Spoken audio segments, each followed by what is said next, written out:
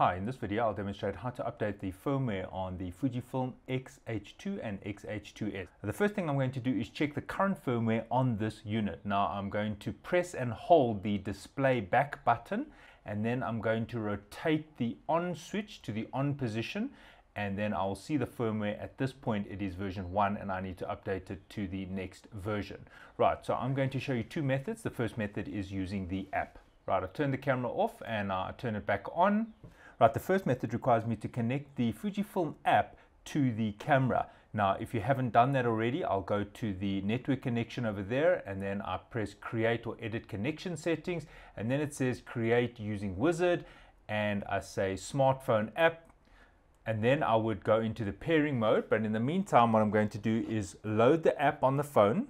All right, so you'll need the Fujifilm app installed on your phone. In my case, it's already installed and I already have one camera installed so I'm going to add another camera. Right so on the top left I tap over there to add a camera. Add a camera to list. I'm using the X system. It's an interchangeable lens.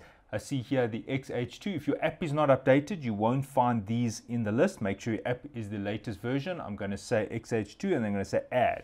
Now it's going to ask me to proceed Right, I've pressed proceed, but the camera must be in the pairing mode. So over here, when it says pairing, I select yes, and now I can just retry and it will probably find it. Right, so it has detected the camera, it's come up over there. Right, so I get a notification saying pairing complete. Now just a note, if you cannot pair yours for some reason, you can just go to page two and reset the network settings. That will reset any previous connections and it will probably pair again.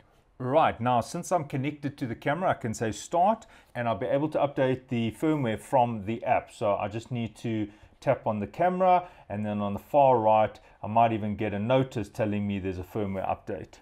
Over here, it says firmware update and it says here, I can download it, agree. Right, now it says update. So I tap on the update. Now it says go to the camera.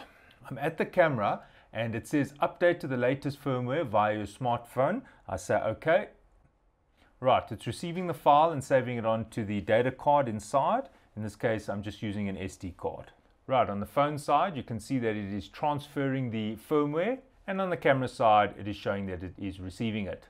Right, it's now doing the firmware update. There's a notice there, do not uh, remove the battery. Right, and the firmware has now been updated. Right, the next method to update the firmware is to go to Fujifilm's website, go to support, and then say download. Then it'll say firmware, then you choose your camera. In this case, it's the H2. I scroll down and then I'll have to accept the license agreement and I can now download the firmware. Now it is ready to download, but I just want to show you the data card. In order to perform the SD card method, I have to format the data card. So I'd have to go here and I'll say format and I do a quick format and it will just remove all the data and only once it's formatted will the firmware actually work. So I go to this PC and now I can dump it on the data card. Right now I'm just inserting my data card that has the firmware into the camera. Now I follow the same process. I press and hold the display back button and then I turn the camera on and over there it says firmware upgrade and in this case it says body version 101 so if I needed to update the firmware I would just say okay and I would update it in this manner. Alright so there I've shown two methods of updating the firmware. Thanks for watching and cheers